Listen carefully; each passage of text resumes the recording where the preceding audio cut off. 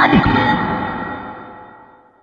Every single transaction, whether you're talking about public or private sector, is audited by the government. And for institutional investors, I would say this is one of the most critical boxes to tick before entering any market. In addition to this, there's the Open Data Source Initiative by Dubai government, also to promote more transparency by way of providing the market and all stakeholders in the market with data and statistics across various industries. And us at fäm Properties, if you look at our website, www.famproperties.com, or an app that we developed, it's called New Dubai Projects. We provide you with meaningful reports that basically fetches real-time data from different government-based sources and it really allows you to make well-informed decisions and I think transparency is a very very important element for any industry and in any given market at any given time. So that's it for now. I thank you very much for watching. Hope that you enjoyed. If you wish to be notified for future videos, click below to subscribe. Keep winning.